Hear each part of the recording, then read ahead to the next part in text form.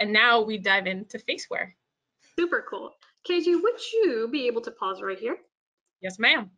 Awesome. So as a quick little recap, uh, this portion is very, very straightforward. So I just want to do like a quick little recap of what exactly I'm going to do. Uh, so just to get started, I'm selecting my main uh, Ada asset. I'm going to go ahead and create a child blueprint. Once I do this, I am now working with just that blueprint. I'm going to rename it to Ada Faceware. Once I have that done, I'm going to go into my details panel. I'm going to select face. I'm going to turn my animation asset to blueprint. And then from there, I'm going to select my, my special Faceware MetaHuman blueprint. Uh, once I go and select my blueprint, I am then going to add my Faceware Live component. Now, the, this Faceware Live component, um, this is available through the Glassbox plugin live client. This is something that is available on the Glassbox website. It, they do offer a free 15-day trial. Uh, so, you know, you're absolutely free to go on there, uh, sign up, and you can download this free for 15 days. Uh, in order to have access to the blueprint, you will have to go to our website at facewaretech.com. Uh, on our support page, you will be able to download those blueprints for free. And with that, KJ, you may continue. And playing back. Cool, so I'm going to create that child blueprint right now. I'm renaming that to Ada Faceware. Now I'm going to select my asset. I'm going to bring into the scene, and now I'm going to go down to a face, I'm double checking that my animation asset has been set and my blueprint has been set below. And I'm gonna add my Faceware Live component. Now here's very important. I am making sure that my port number is set to 802. This is very important because over in Studio, that has also been set to 802. So if you're having any streaming issues, this is one of the main things you wanna troubleshoot. And then with that, once I start playing, we have face. So now moving over, oh, and this is our Glassbox uh, the Glassbox plugin where you can download the plugin uh, for Faceware Live. And now with that, we're gonna go ahead and move over to Studio. So face, um, KJ, would you be able to quickly pause right over here? Absolutely. All right, so a quick overview of Studio. So I know before I brought this up and I mentioned uh, the port number and being able to make sure that that matches. You're probably thinking, okay, well, maybe I haven't touched Studio. What the heck is Studio? Well, Studio is the application we are using for the actual live streaming. So on the left side here, I have already pre-recorded a range of motion for KJ. For those of you who are, you know, perhaps just kind of getting into the mocap scene, um, as a quick summary, a range of motion or a ROM will be something you would have to pre-record to uh, record all of your talent's most extreme expressions. Now, this is very, very important. This is where you want your talent to really hit those super extreme expressions. You don't want them to hit like a soft smile and then later on uh, perform a much more exaggerated smile uh, because what I am going to show you guys is how to utilize your range of motion and tune or tune your character and create a profile. Uh, you will have to create a profile and do this process every time you have a different character with a different talent.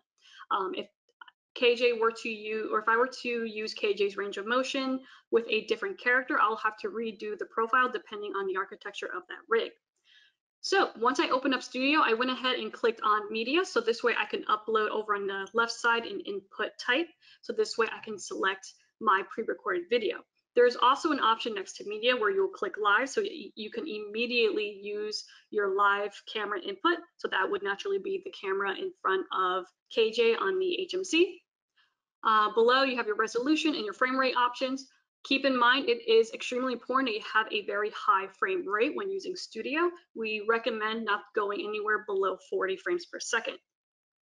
Uh, what I'm going to do now is go over the actual tuning process. So as a quick little explanation, tuning is basically me sort of editing how Ada is or how all those motions are being translated onto Ada. So for example, if KJ gives me a big wide open jaw and I notice on Ada, her jaw is almost maybe halfway while KJ's is really exaggerated, well then I'm gonna wanna go into my mouth group, find my jaw open, and then I'm going to want to ump that value. So this way, um, the roughly the amount of length that KJ's jaw is going down would roughly match how Ada would. So this way the performance is matching as closely as it can to a one-to-one. -one. And with that, KJ, you may continue. Playing back. So here, I'm just doing a quick little time lapse uh, just kind of playing around with all my different tuning adjustments. As you can see, there is a different slider for each shape, uh, face shape. Uh, this is where you really want to use your artistic eye. Um, if you want typically, uh, if you're someone who's more on a technician or operator side uh, and you haven't had much um, opportunity to really sort of do anything more related to like animation, you're definitely going to want to bring in someone who has, you know, a little bit of that artistic eye where they can kind of look from side to side and kind of say like, okay, well, you know what, I think this shape looks pretty good. Or, hey, I'm using my best judgment here. Uh, maybe it's not quite the exact one-to-one, -one, but I'm I'm happy with this smile or I'm happy with this frown and I like how this is being translated. So because this could be a bit more of an, I would say like a little artsy process, there's a lot of going back and forth. There is no uh, perfect how to. This is really just kind of up to your best judgment. So for me, I'm going really high or perhaps really low on my brow down left, but maybe if I go to a different expression, I notice, oh, I actually have to ump that up a little bit. So it's a lot of back and forth. So you definitely want to commit some time in the profiling step. Uh, as I scrub through KJ's range of motion, I'm stopping at the most exaggerated expression. So this is where I want to tune in um, my character.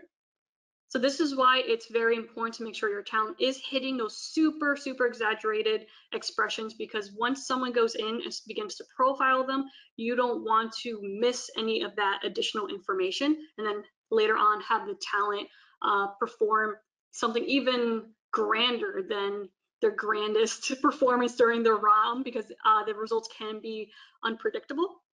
So you definitely want to make sure you get like those super wild expressions in there as much as possible. Um, on that right side, you probably also notice these little red landmarks. Those red landmarks is Studio letting you know um, how much it's tracking that specific face shape. Uh, so right now you see that little red dot under jaw open is really um, in that second half there. So that's telling, so KJ is telling Studio that it's really hitting those high values for jaw. Uh, so I might not have to adjust my value too much since I already see that Studio is already getting a really high value out of the box as is. So yeah, just kind of going back and forth. Now, once you get through the tuning process, now typically we recommend just tuning alone uh, to really adjust some of your character's expressions, but you do have an option of using our motion effects. Now, during this time, it can be a bit more involved. This is where you want to go in and you can create your own customized scripts and how one expression might react with another one. Uh, there's a couple little options you have there. We typically recommend you go through the tuning process first, see if you get what you need, um, and then apply those additional layers later on. So right now, now that I'm done, I'm going to go ahead and save my profile for KJ. I'm going to go into my motion effects. So KJ, would you actually be able to, let's pause right, actually give it two seconds. Right here, let's pause it right here. Um, great, so what I'm going to do right here, now just keep in mind, uh, motion effects, as I mentioned before, they're adding extra layers of logic to help um, into your character's performance. So what I'm going to do, just as a quick little example, I'm going to go ahead and select my, perhaps my cheek squint left, and then I'm going to select my increase by motion. Um, as my corresponding uh, face shape, I'm going to say maybe smile left. This way, every time Ada is using that smile left value, it is also increasing my, my cheek squint left. I would want to do this if I want, you know, a little bit of that extra smile or, you know, just something a little bit more interesting if I want to play around with that. So with that, KJ, you can go ahead and continue the video. Playing back.